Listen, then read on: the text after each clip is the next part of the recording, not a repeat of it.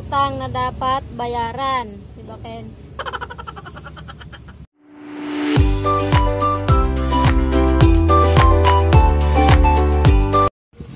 Hello guys, welcome sa aking channel Kenji Mar Vlog.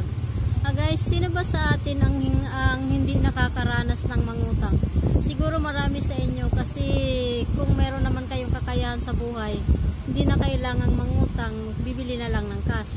Pero ano ba yung tips kung paano tayo makatanggi sa mga mangungutang at paano tayo maniningil kung tayo ay nagpapautang? Hindi naman masama ang mangutang lalo na kung ito ay ginagamit ng pang-emergency o kaya ay ginagamit natin sa tamang paraan. At saka sa nagpapautang naman, uh, kung meron namang extra money, bakit hindi magpapautang, di ba? Pero, ang tanong, nakakabayad ba yung nangutang? Hindi naman talaga masama, guys, ang mangutang lalo na kung emergency, di ba? Masarap sa pakiramdam yung nakakatulong ka sa kapwa. Tapos, ang problema lang kasi doon din sa mga nangungutang, pag nakautang na sila, pagdating sa singilan, sila na nga yung may utang, sila pa ang galit. Kaya mahirap din maningil. Guys, ito yung mga style ng mga gustong mangutang, lalo na kung dito sa Kagaya kung may tindahan na sari-sari store. So, una niyan, magiging suki mo muna sila. Bili yan ng bili sa'yo, araw-araw, ganyan bibili, tapos kwento-kwento. Tapos, pag naging suki mo na sila, nasanay na, mangungutang na yan, sasabihin na, pakuha muna ng ganito, ng Milo, ng gatas, or kape, ganun. Tapos bigay ko mamaya, o kaya bigas, bigay pagkasweldo daw ng asawa. Tapos, pagdating ng singilan, hindi na magpapakita sa ibang tindahan na naman bibili. Kasi mga style na ito, hindi lang ito sa mga suki sa tindahan, pero kahit sa mga kamag-anak natin, ganun din eh. Pari-parehas lang din yung mga style nila kung paano sila para ang ginagawa nila para makautang. Style number 2, nagiging actor or actress. Kasi, uh, makikipagkwentuhan mo na yan sa'yo, kumusta kumusta, tapos magkukwento na ng mga mga problema sa buhay, mga paghihirap sa buhay, hanggang maawa ka kasi sasabihin nila sa'yo na wala silang, halimbawa sabihin na wala pa silang tanghalian, hihiram muna or utang muna ng bigas para may pagtanghalian. Siyempre pag ikaw maawa ka naman, pauutangin mo rin. Tapos minsan kasi meron na din akong experience dati na uh, kapitbahay namin nang hihiram siya ng pera kasi wala pa daw silang tanghalian. Ta uh, binigyan ko ay pinahiram ko siya at 200 pesos lang naman. Pero ang masama kasi nakita ko sila na bumili ng red horse. So hindi pala bigas yung binili kundi red horse. Kaya minsan pag nagpapautang ka, gusto mong tumulong, uh, nakakasama din ang loob. Tile number 3 uh, biglang nabuhay. Uh, paano yung biglang nabuhay? Halimbawa, mat, uh, kamag-anak mo or kaibigan, yung matagal na kayong walang communication, tapos biglang magte-text or biglang mag-message, nangungumusta. Tapos pagkatapos pala ng kumustahan, pag nire-replyan mo, biglang sabihin na may extra money ka pa dyan, baka pwedeng makahiram muna. Lasan, pag may utang na sila sa'yo, biglang nagkakaroon ng sakit. Ang unang-una dyan ang amnesia. Kasi nagkaka-amnesia sila pag nagkita kayo at siningil mo na hindi na maalala na may utang sila sa'yo. Sasabihin na nila na, ay, may utang ba ako? Hindi ko maalala kailan yun. So, ayun, yun din ang dahilan ng bigla kayong, imbis na magiging best friend kayo dati, or kaibigan mo siya dati, nagiging magkaaway kayo dahil lang sa utang. Is pag nasa lubong ninyo sa daan ang nangutang sa inyo, nandoon yung biglang liko. Liliko yan kung pag nakita kayong paparating, liliko yan sa kanto kung saan makaliko na hindi kayo masalubong.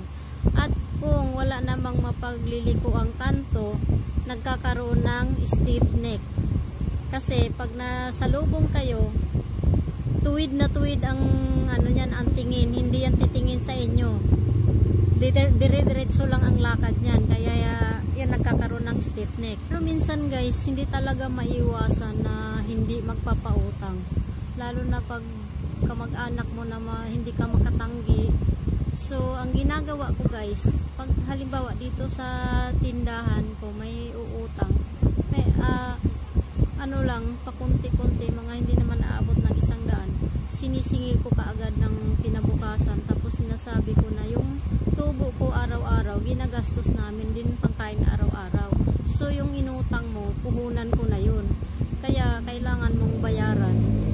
Ginaganon ang ginagawa ko.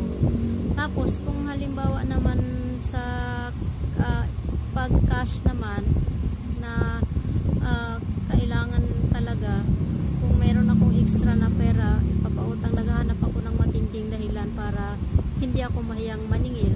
Sinasabi ko na itong pera na to, pambayad ko to ng bahay bukas or sa next day.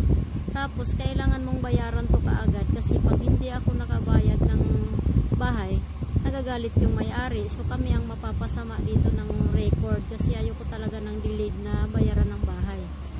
Pag sa kamag-anak naman ang nangungutang guys, hindi ako nag expect ng bayad na.